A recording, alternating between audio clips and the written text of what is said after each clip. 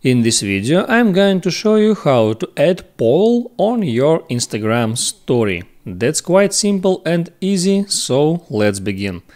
First, open up your Instagram application, tap on that plus icon and here select story and start creating story as you normally would. Select for example uh, some picture and then to add here a poll.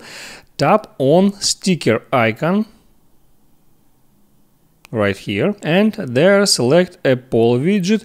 If you can't find it use search bar type here poll select that sticker and here type in question you want to ask and then add some options to answer after you finished you can change color of that text uh, just tapping on that rainbow circle. I will left orange one and then you can change the position of that poll and also you can resize it rotate it and do whatever you want like with another sticker. So that's how it works and I hope it helps you and before you go please like and subscribe.